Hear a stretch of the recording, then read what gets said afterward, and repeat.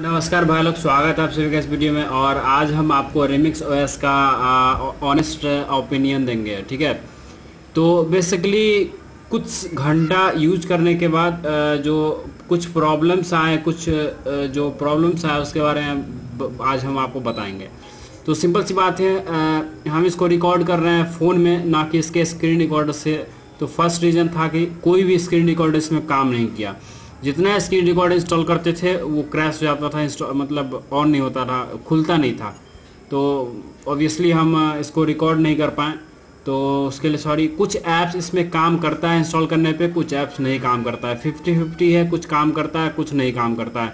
क्योंकि बेसिकली सभी को फ़ोन के लिए डिज़ाइन किया गया है तो बेसिकली और ये जो है, अभी भी तीसरा जो ड्रॉबैक है कि ये अभी भी जो है एंड्रॉयड लॉलीपॉप पे चल रहा है। मेरे ख्याल से हाँ मार्स मेलो पे चल रहा है।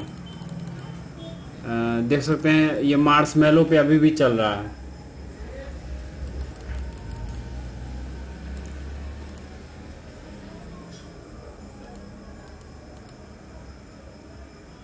तो कहने का मतलब कि अभी भी ये मार्स मेलो पे चल रहा है, ये भी इसका एक ड्रॉबैक है। और सब, बाकी चीज़ सब सही दिखा रहा है। Manufacturing Dell dot I N C देख सकते हैं। मॉडल नंबर इंस्पिरॉन का दिया हुआ है। Remix OS version Android version और सिक्योरिटी अपडेट 2016 का है। बहुत पुराना हो चुका है, इसलिए 2019 में इसको इंस्टॉल करना बेवकूफ़ी होगा। और, ये लेटेस्ट जो उनके वेबसाइट पे मिला यही था। उस समय में मेरे ख्याल से ठीक रहा होगा, लेकिन अभी जो है फ़िलहाल फोकस हाँ। तो अभी जो है फ़िलहाल ये ठीक काम नहीं कर रहा है मतलब इसमें कुछ ऐप्स काम करता है, कुछ ऐप्स नहीं काम करता है। इसका जो इनबिल्ट ऐप्स जितना भी है, वो सब एकदम फ़र्स्ट क्लास काम करता है no problem without any problem जो है सो काम करता है। बट अगर आप कोई एक्स्ट्रा ऐप प्ले स्टोर से डाउनलोड कीजिएगा हाँ इसमें प्ले स्टोर सपोर्ट करता है, ये अच्छी बात है। मे बी अगर इसको अपडेट किया जाए, कहने का मतलब इसको फिर से इसको जो है सो 2019 के जो एकदम लेटेस्ट पाई के बेस पे बनाया जाए तब जो है सो पक्का जो है सो ये बस धमाल मचा देगा इतना तो कह सकते हैं। लेकिन अभी मेरा ऑनेस्ट ओपिनियन यही रहेगा आप लोग के लिए कि इसको डाउनलोड ना करें तो ज़्यादा बेहतर रहेगा। ये डेली यूज़ के लिए काफ़ी नहीं है का, मतलब इसको डेली यूज़ नहीं किया सकता। ऐसे मैसेंजर है फेसबुक सब काम करता है।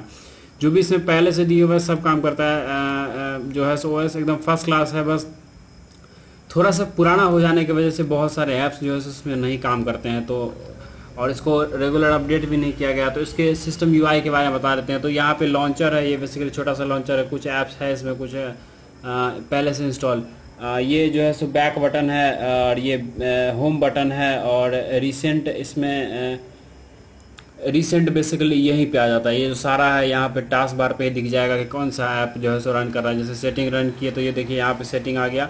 यहाँ से आप क्लोज भी कर सकते हैं ऐप को उसके बाद हाँ प्ले स्टोर काम करता है, देख सकते हैं प्ले स्टोर एकदम फ़र्स्ट क्लास काम कर रहा है। ऊपर में जाने के बाद, जैसे ही आप ऊपर में जाइएगा तो यहाँ पे बेसिकली मतलब बटन आ जाएगा, जिससे कि आप इसको क्रॉस कर सकते हैं। इसमें गेमिंग का भी दिया हुआ है कंट्रोल्स गेमिंग टूल किट जिससे कि आप जो है सो, ये राइट साइड में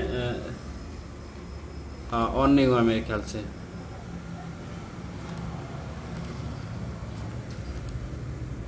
पता नहीं क्यों नहीं ऑन हो रहा है लेकिन ऑन होता है वो।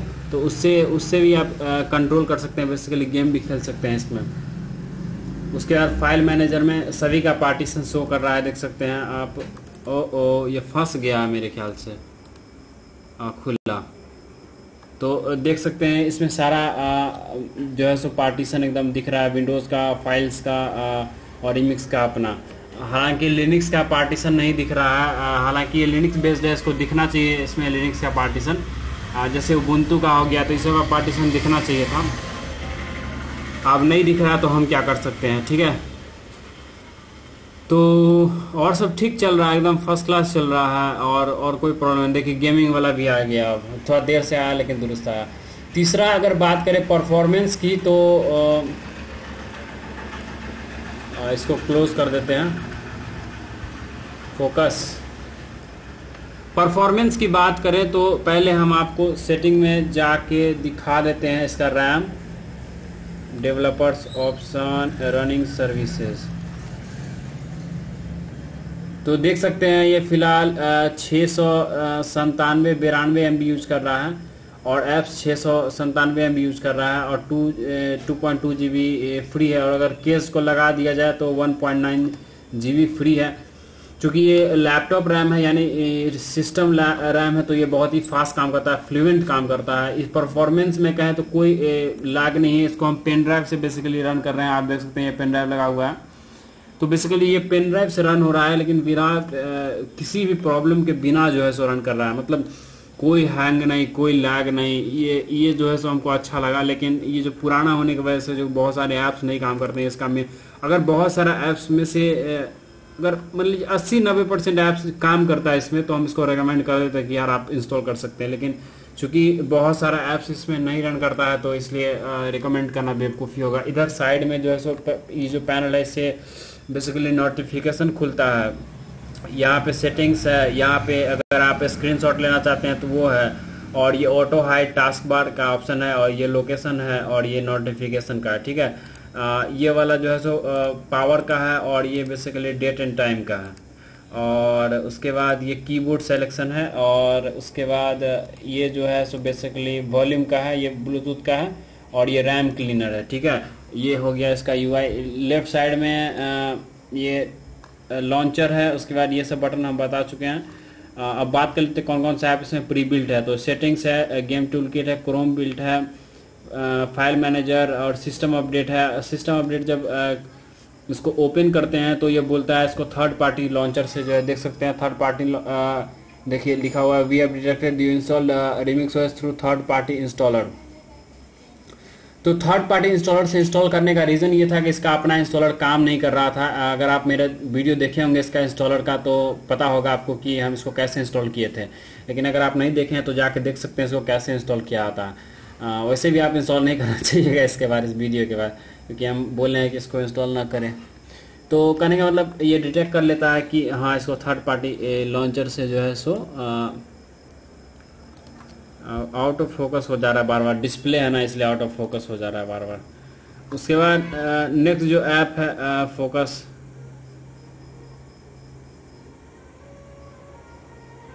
एक मिनट अब ठीक है। तो और जो ऐप्स है, उसमें से है क्रोम स्विचर है बेसिकली ये डेस्कटॉप और उसमें से स्विच करके बताता है कि कौन सा आपको यूज़ करना चाहिए और और और और मैसेंजर है एम प्लेयर है वाईफाई सेटिंग है, यही सब है छोटा मोटा और क्विक पिक दिए हुआ है एज अ गैलरी तो यही सब है जो है और एक प्ले एक्टिवेटर है, इससे आप बेसिकली प्ले सर्विस को एक्टिवेट कर सकते हैं, देख सकते हैं प्ले सर्विस को एक्टिवेट कर सकते हैं। तो प्ले सर्विस को एक्टिवेट करने के बाद बेसिकली आप जो है इसमें प्ले स्टोर इंस्टॉल हो जाएगा, देखिए प्ले स्टोर आ चुका है। तो उसके बाद रिबूट करना पड़ता है और उसके बाद इंस्टॉल हो जाता है। सेटिंग्स में चलते हैं सेटिंग्स में कुछ आपको दिखा देते हैं।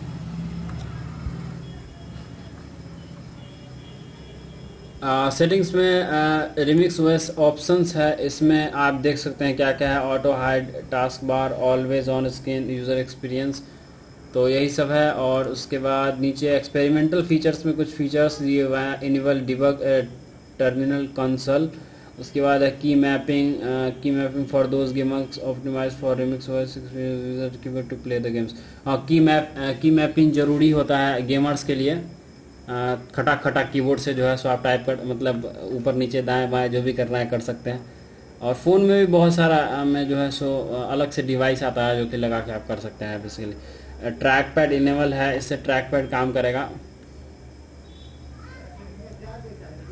देखिए अभी हम ट्रैक पैड से यूज़ कर रहे हैं स्क्रॉल कर रहे हैं और अब जो है सो आ, मतलब माउस से कर रहे हैं। तो माउस से और ट्रैक पैड से आपको अंतर बुझा रहा होगा। माउस से एक बार ऊपर से नीचे करते हैं तो खटाक से जाता है। और ट्रैक पैड से एकदम स्मूथली जाता है स्मूथली तो यही अंतर है। उसके बाद प्रेस इंटर टू सेंड है। उसके बाद यही सब है। जो भी है, आप देख सकते हैं। उसके बाद पीछे चलते हैं। सर वाईफाई जो जैसा होता है, वैसा ये ईथरनेट एक फ़ोन में नहीं होता है, लेकिन इसमें ईथरनेट दिया हुआ है ब्लूटूथ है। उसके बाद मोड के अंदर में क्या है? मोड के अंदर में सिर्फ़ वी है। उसके बाद डिस्प्ले डिस्प्ले चलिए डिस्प्ले सेटिंग देख लेते हैं। डे ड्रीम है। ज़्यादा कुछ नहीं है डिस्प्ले सेटिंग में। नॉर्मल एंड्रॉयड की तरह ही है apps compat enable native bridge to support apps with ARM native libraries मेरे ख्याल से हाँ अब समझ में आया ऐप्स क्यों नहीं काम करता है? मेरे ख्याल से सीपीयू के आर्किटेक्चर की वजह से आ, बहुत सारा ऐप्स काम नहीं करता है। बेसिकली जो स्क्रीन रिकॉर्डिंग ऐप्स है वो भी इसी वजह से नहीं काम करता है। तो मेरे ख्याल से आर्किटेक्चर का जो है सो झोल झाल होगा और इसी की वजह से ये काम नहीं करता होगा। बाकी सब ठीक है ठीक है? उसके बाद मेमोरी है लोकेशन है उसके बाद एक में, इसमें एक और फीचर दिया हुआ है सुपर यूज़र का, जो कि आपको बेसिकली रूट करने के बाद आपको फ़ोन में मिलता है। लेकिन इसमें प्री बिल्ट है, देख सकते हैं हम टर्म टर्मक्स को जो है सो दे चुके हैं सुपर यूज़र परमिशन तो और और और क्या है इसमें? सेटिंग चेक कर चुके हैं और क्या है? क्विक पिक तो आप देख चुके होंगे ऐप कैसा होता है। इसका फ़ाइल मैनेजर दिखा रहे थे कैसा? है तो फ़ाइल मैनेजर में लेफ़्ट साइड में सारा का सारा ऑप्शन है। और कुछ नहीं है और कहीं कुछ नहीं है। तो ये बेसिकली यही है जो है। और प्ले एक्टिवेटर टर ये टर्मक्स है बेसिकली फ़ोन में नहीं दिया होता है, ये टर्मिनल है एंड्रॉयड के लिए।